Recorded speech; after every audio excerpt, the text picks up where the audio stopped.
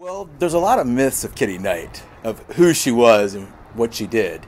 Um, and the importance of this weekend and the reenactment we're putting on is to dispel the myths of Kitty Knight. Kitty Knight uh, was an unmarried woman, and for of her day and age, was pretty uncommon. Um, and she was proud of that. Actually, on her her tombstone at Old Bohemia Church, up in Warwick, it actually says Miss Kitty Knight to make sure that everyone knew that she was an unmarried lady and she was an independent, fierce, strong-willed woman. Um, she was the daughter of a local plantation owner in Cecil County, just across the river from here. And um, at a very young age, she decided she wanted her own independence, and she decided to rent a home here in Georgetown from one of, I believe it was her uncle who owned the house here. During May of 1813, during the War of 1812, she actually um, decided to stand her ground against the British as they came up the river. The British first came up the river and attacked Fredericktown across across on the Cecil County banks. After they had ransacked and pillaged and plundered their way through there, they turned their attention to Georgetown.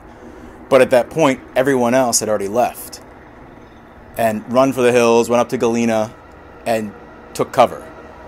And she was the only one left. Her and her elderly neighbor, who lived in the adjoining house here on the property. Um, when the British approached her here at the front steps of her house and wanted to burn her house, she convinced them to stand back and using her sharp tongue, she was able to thwart their efforts, uh, as well as save the house of her elderly neighbor who was bedridden and destitute. So the legend goes. And that's really what we're trying to show is in our reenactment is what happened from the account we can find and to dispel the, the misnomers of what she was and she didn't, you know, she wasn't a prostitute. she didn't run a whorehouse in Galena. Um, she was just a strong-willed woman for her time, which was very, very, very unusual, and that's something to be remembered 200 years later. It will be the weekend of May 3rd through the 5th. Um, it's the Legend of Kitty Knight and Dogwood Festival weekend uh, coming up here between Galena and Georgetown. The weekend kicks off May 3rd. On Friday evening, there will be a VIP dinner and lecture here in, at the Kitty Knight House, fireworks over the harbor, and a ball to follow. Uh, Saturday is the Galena Dogwood Festival with the parade and the festival through the, the streets of downtown. Uh, Miss Kitty will make an appearance on site and probably have a little skirmish with the British. And then the culmination of the weekend will be Friday, I'm sorry, Sunday, uh, down here at the Kitty Knight House again. Um, for the festival, we'll have artisans out here, boat tours of the harbors, and the climax of the day at 1 o'clock will be the reenactment of the Legend of Kitty Knight.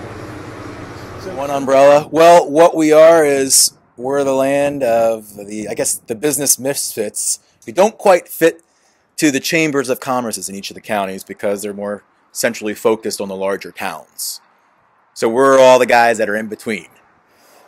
And um, what I've done in the last three years as president of the Sassafras River Business Council has been to try to bring the, group up to date, create a new website, and try to bring technology into our business and, and into our organization so we can communicate with each other effectively and um, spread the message what we're doing. And, and really, the population around here in our summer in summer months is very similar to Rock Hall. It doubles and triples in some areas.